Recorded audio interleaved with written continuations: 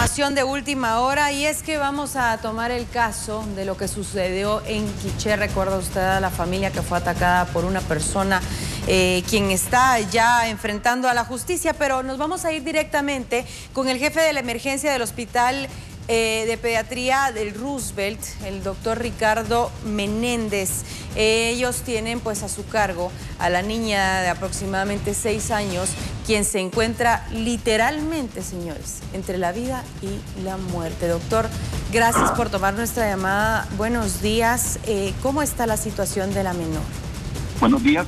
La niña, em, nosotros recibimos una ambulancia del Hospital Regional de Nevac aproximadamente a las 3 de la mañana y nos vino una niña, como usted dice, de 6 años, la cual presentaba una, presenta una herida eh, con machete en la región parietal del lado derecho del cráneo, ¿verdad?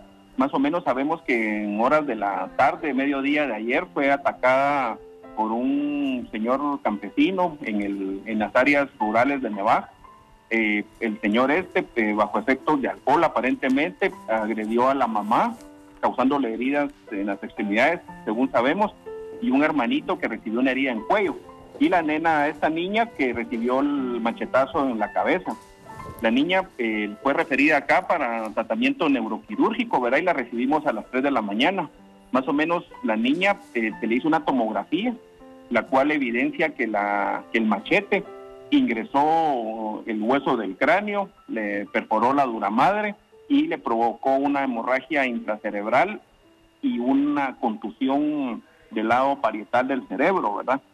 La niña se le está brindando acá cuidados intensivos, ¿verdad? Está intubada, se le dejaron antibióticos acorde a bacterias eh, anaerobias, estafilococo, ¿verdad? Ya que el machete eh, en nuestros campesinos está altamente contaminado y eh, a las más o menos a las 6.30 la subimos a sala de operaciones donde los neurocirujanos van a, realizar un lavado y desbridamiento de tejido óseo, la dura madre y el cerebro, ¿verdad?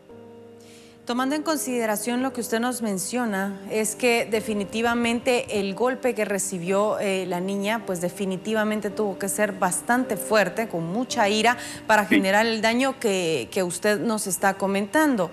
Aún salvando la vida de la menor, pues cómo podría ella retomar eh, su vida en medio del daño que usted nos comenta que están tratando de en este momento controlar. Nosotros em, esperamos complicaciones inmediatas, inmediatas y tardías. Por ejemplo, las inmediatas es que em, el cerebro en esa área está llena de senos venosos y la tomografía sí evidencia eh, una hemorragia de coágulos extensos.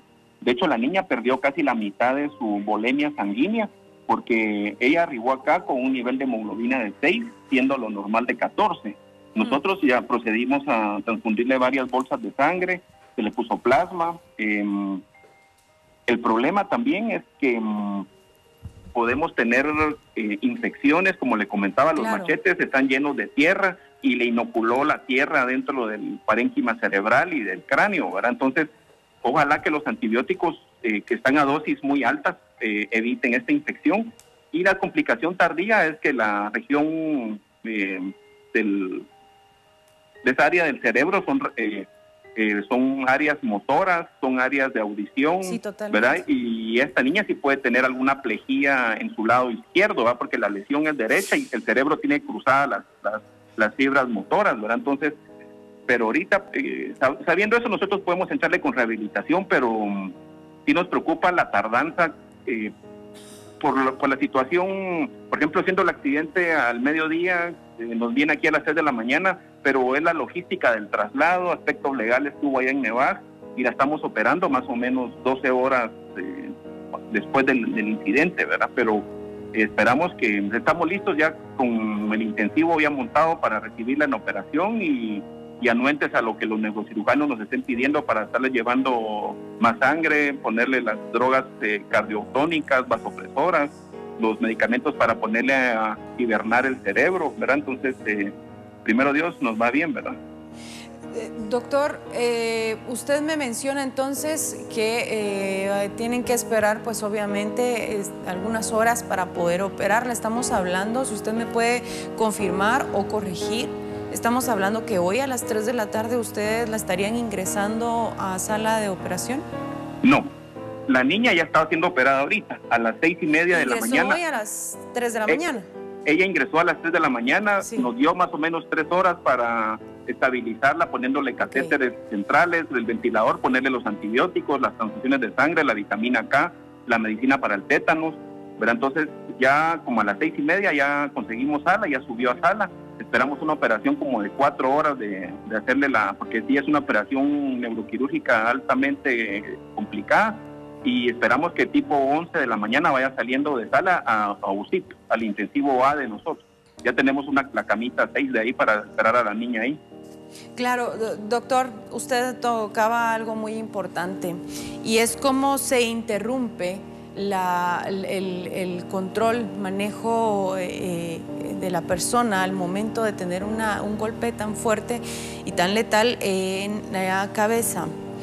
Em, de alguna manera, ¿hay alguna margen en donde ella pueda quedar de algún, por decirle, con cierta parálisis porque se tocaron puntos muy sensibles.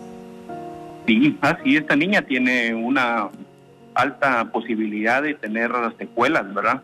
Por ejemplo, como le decía, motoras, pueden haber secuelas verbales, de la, audición, el oído está arribita de ahí, ¿verdad? Entonces, eh, nosotros sí estamos sabiendo de eso, de hecho, esta niña solo por el la trauma que le penetró el cerebro tiene un 25% de posibilidad de ser epiléptica postraumática. Hmm. Ya se le puso el antiepiléptico, que es la cenitoína y el valproato, ¿verdad? Sí. Para prevenir eso, porque obviamente el machete le removió parte del tejido cerebral de la, de la región parietal, ¿verdad? A mí me impacta eh, lo que usted menciona, que eh, como la herida tan profunda que causó el machete porque definitivamente estamos hablando que obviamente eh, el cerebro pues está cubierto de... Em, el cráneo, mejor dicho, está cubierto, pues obviamente eh, está muy seguro. No tengo los términos médicos en este momento. es para mí un poco complicado este tema porque me toca no solo como mujer, sino como madre de familia, que definitivamente eh, pues no hay argumentos para ir de esta manera a una niña. Estamos hablando de seis años, por favor, con tanta hazaña como lo hemos podido observar en las imágenes, pero trato de describirle esto, o sea, estamos hablando del cráneo, un punto que está pues... Eh, por naturaleza humana, porque así nos hizo Dios, eh, seguro, y poder perforarlo eh, es, algo bastante fuerte lo que estamos tocando, doctor. Y sé que ustedes tienen en sus manos una tarea bastante fuerte también, pero sé que también están puestos ahí con un don muy grande, doctor. Sí, y nosotros eso discutíamos porque los eh, médicos forenses de allá de Nevac van a tener que analizar el perfil psiquiátrico de este individuo, porque si bien sabemos que estaba en estado de ebriedad, algo se tramaba entre ceja y ceja este señor, ¿verdad? Para haber actuado con tanta hazaña. Y mm, realmente el cráneo es una estructura que protege mm, el cerebro, el cerebelo, el tallo cerebral, tiene la dura madre que protege más directamente al cerebro, pero ha tenido una fuerza de impacto intensa. Acordémonos, acordémonos que el machete, de hecho, tiene una regulación en la ley para usar machetes, o sea, no, de hecho, alguien no puede entrar a un poblado con el machete descubierto. Eh, por eso que a veces uno encuentra a la gente que los envuelven en, papel para tenerlos así guardados en su vaina, porque son ya afilados, son armas letales, ¿verdad? Entonces, em, eh, realmente sí, ojalá que las personas logren solventar sus problemas a través del diálogo y eviten estas situaciones, porque esta niña... Aquí tenemos unas escalas de morbimortalidad y si realmente pueda tener hasta un 15% de que se nos pueda morir. Y mm, las secuelas, obvio que van a haber, ¿verdad? Porque la niña va a perder parte de su tejido cerebral, ¿verdad? Entonces, em, nosotros estamos como, o sea, como sabiendo eso y, por ejemplo, ya tener a los de rehabilitación, al neurólogo, a los neurocirujanos y minimizar las complicaciones, pero realmente el problema y el costo que pone al gobierno de Guatemala los gastos tanto de los de la mamá como el hermanito que está en Nevasi como la nena que está aquí, ¿verdad? Porque realmente son costos altos y que cualquier tipo en, su, no, en su sano juicio puede agredir a, personas desarmadas y que no tienen cómo defenderse o algo, ¿verdad? Doctor Ricardo Menéndez, yo quiero de verdad eh, de antemano agradecerle a usted y al equipo que se ha reunido para así eh, salvar a esta menor. Sé que no es una casualidad que ella haya llegado ahí y que esté en manos de ustedes, que son profesionales. Sé que también son muchas horas que les representan no solo con ella, sino con muchos pacientes y que en muchos casos no les es dado el reconocimiento. Pero yo en este momento eh, tomo este espacio para agradecerle a usted, teniendo fe que van a poder salvar a la pequeñita que tienen en sus manos. Muchas gracias a usted, porque esto se llama vocación. Lo que usted tiene en sus manos seguramente va a ser instrumento de Dios para poder salvarle la vida a esta niña. Sí, muchas gracias. El equipo de pediatras, o sea, es un equipo multidisciplinario que tal vez uno solo es como una parte más del ajedrez, ¿verdad? Pero tuve a mi jefe de grupo, el doctor Luis Pedro, los neurocirujanos, el equipo de cirujanos, o sea, es un equipo, las enfermeras, ¿verdad? Entonces los terapistas respiratorios, somos 20 gentes ahorita acá a cargo, entonces eh, crea lo que todo lo que está de parte del gobierno y del ministerio para que esta niña y los que están más, que están acá, que hay un montón, salgan adelante, sepa lo que va, así va a ser primero Dios. Gracias, porque puedo escuchar en usted el compromiso. Muy amable.